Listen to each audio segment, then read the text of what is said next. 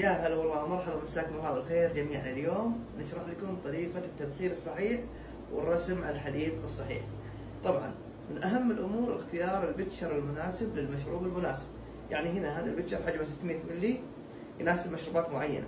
420 هذا 350 350 فرق الفوهة هنا تختلف وهذا ال 220 نجي لل 600 مناسب للاتيه ال 420 لل flat white والكابتشينو.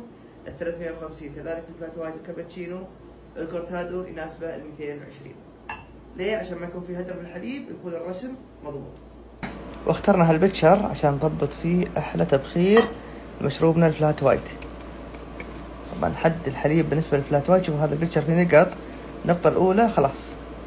بالضبط وصلنا النقطه الأولى. بوريكم إياها الآن أقرب لكم ال pitcher شوفوا النقط هذه.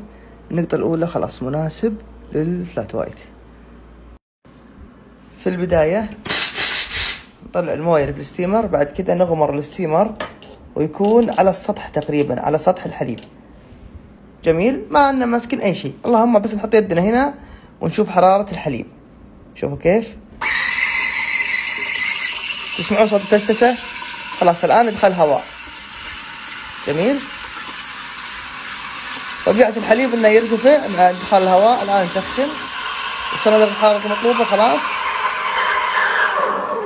كيف تعرف إنك وصلت درجة الحرارة المطلوبة؟ إن ما تحمل الحرارة لمدة ثلاث ثواني معناته إنه وصلت درجة الحرارة من خمسة وستين إلى خمسة وسبعين. شوفوا التبخير كيف كريمي ويلا نرسم. وهذا الاسبريسو جاهز بس نحركه قبل الرسم. وكذلك تبخيرنا جاهز. يلا نبدأ.